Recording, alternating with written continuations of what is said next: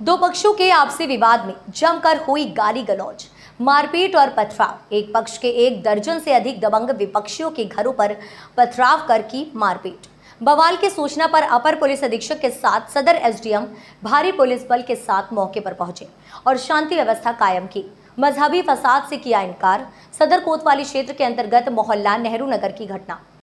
आप Sonu Yadav ward number एक पार्षद। क्या घटना घटी आपके यहाँ? काफ़ी भोर से इकट्ठी है। छोटी सी लड़ाई थी और उसे हिंदू मुस्लिम बता दिया गया है। ऐसा कुछ नहीं है सब शांति है। इस शुरुआत कैसे हुई? शुरुआत कोई गाड़ी वाड़ी की थी कि कोई गाड़ी जा रही थी? तेज गति। थी। तो उन्हें रोका और रोक के फिर आपसी में ज़्यादा विवाद हो गया। दोनों का विवाद हुआ। बाहर के कोई लड़के आ गए अन्य मोहल्ले के हमारे मोहल्ले में। तो उन्हें नारे लगाए जय श्री राम के। तो इससे फिर तुरंत पुलिस आई और काफ़ी फोर्स है अब स्थिति समान है क्या है? स्थिति बिल्कुल सामान्य है।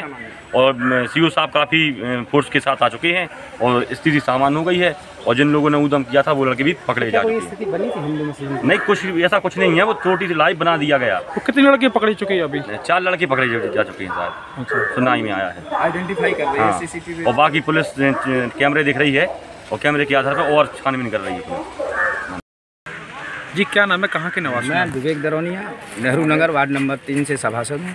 क्या घटना घटी आपके? घटना इधर पे कुछ अराजक तत्व ऐसे हैं जो शराब वराब का कारोबार करते हैं और शराब लिए रहते थे तो काफ़ी तेज़ गति से भाग रहे थे मोटरसाइकिल से। शायद पुलिस के डर से भागते होंगे। तो इधर पे नसीम बाबू का घर है।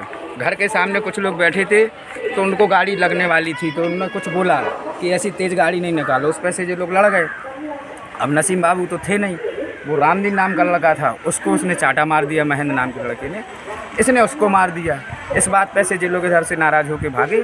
फिर उधर दूसरे पक्ष वाले इकट्ठे हो गए, काफ़ी ज़्यादा लोग इकट्ठे, लगभग सौ पचास लोग इधर पे आए।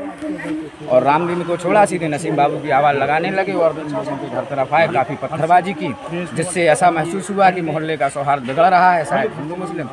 जबकि ऐसी बात नहीं है, हम लोगों के मोहल्ले में हिंदू और मुस्लिम दोनों ही आपसी भाईचारे के तौर पर रहते हैं। पुलिस को तुरंत सूचना दी, पुलिस मौके पर आ गई, मौके पर पुलिस को आता देख, कुछ लोग भागे, कुछ पहले ही भाग गए। अब स्थिति क्या अब स्थिति बिल्कुल सामान्य है। सीओ साहब काफ़ी फोर्स के साथ पूरी गलियों में हैं तैनात हैं और बकाया स्थिति कोई कुछ लड़ना ही नहीं चाहता था। ना मुस्लिम पक्ष वो तो पता नहीं कौन से अराजक तत्व है ना हिंदू लड़ना चाहता है हमारे इधर ना मुसलमान लड़ना कुछ ऐसे तत्व हैं जो दोनों को लड़ाना है। चाहते जो दोनों को वो लोग दूसरी बात से हिंदू मुस्लिम दंगा का मैटर ही नहीं है इसमें। दूसरी बात से मारपीट की लड़ाई है जिसको ऐसा इशू बनाया जा रहा है। कुछ लोगों ने जय श्री राम के नारे लगा दिए जबकि वो लड़ाई से कोई मतलब नहीं है। महेंद्र है वो महेंद्र अपनी मोटरसाइकिल से यहाँ आया था। महेंद्र और रामदीन के बीच में कुछ झगड़ा हो गया।